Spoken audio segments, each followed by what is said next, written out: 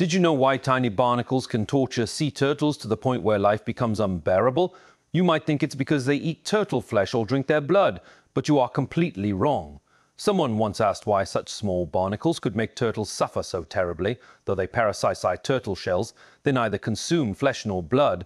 Instead, barnacles secrete a biological adhesive that instantly solidifies upon release, bonding permanently to their host. This glue possesses extraordinary properties, high adhesiveness, heat, resistance, and intense corrosiveness.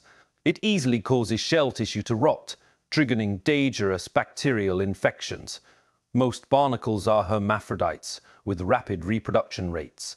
After one barnacle attaches, within three months it spawns entire colonies. Sea turtles swimming with barnacle infestations feel like they're carrying mountains on their backs. Barnacle larvae burrow into shell crevices, causing localized decay and inflammation.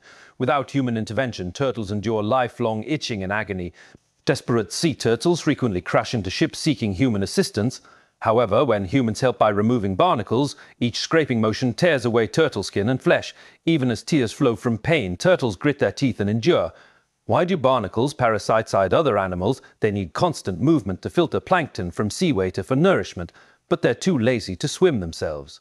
So they hitchhike on others.